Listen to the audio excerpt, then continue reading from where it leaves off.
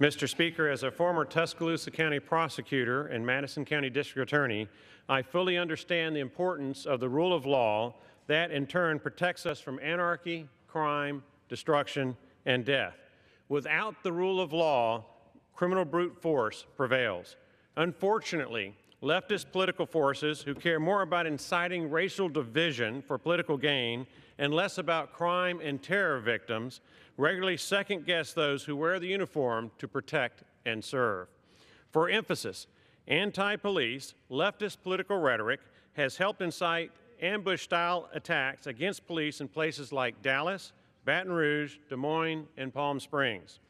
I support the Thin Blue Line Act because I appreciate the sacrifice of law enforcement officers and because it is morally right to help protect officers who risk their lives to protect ours.